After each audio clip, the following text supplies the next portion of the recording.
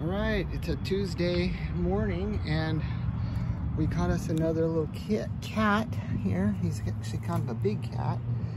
And I think, oh, you think he bruised his, oh, poor little guy. I hate to see when they bruise their nose. But that's kind of the price you have to pay when you're trapping these cats. All right, back here at the Volusia County Animal Services Spay Neuter Clinic. And it's a long line of cars this morning waiting to drop off. And let's see how this little guy's doing. Hi, buddy. How you doing? I'm sorry I had to hurt you. Oh, he banged this, the cage so hard. He hurt his little nose.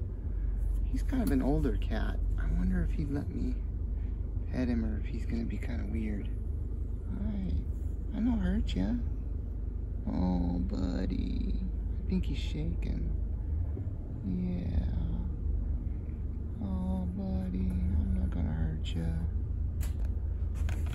Yeah, little buddy. Oh my god, his lip.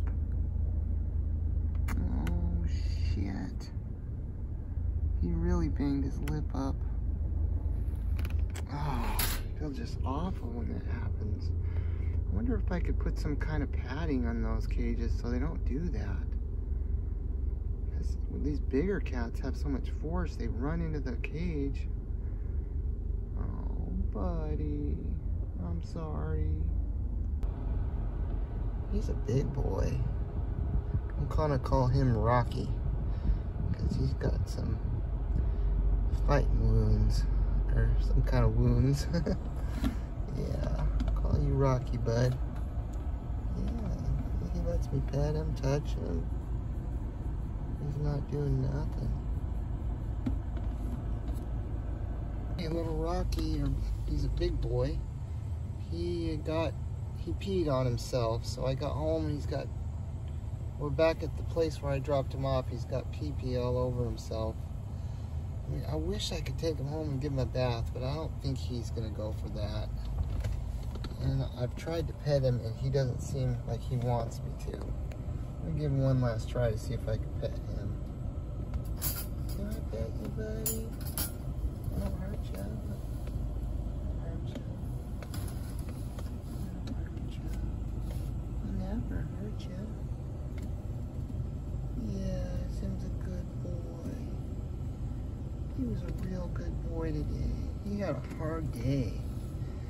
Poor lip. Scared. Dang it. I didn't mean to scare you, buddy. Can I pet you?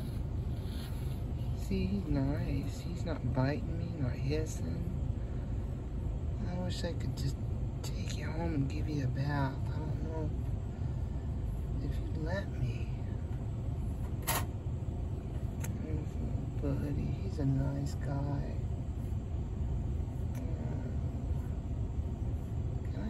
Maybe I'll try to put some water through the cage and pour water on his feet. Okay, he's ready to go. He's getting antsy.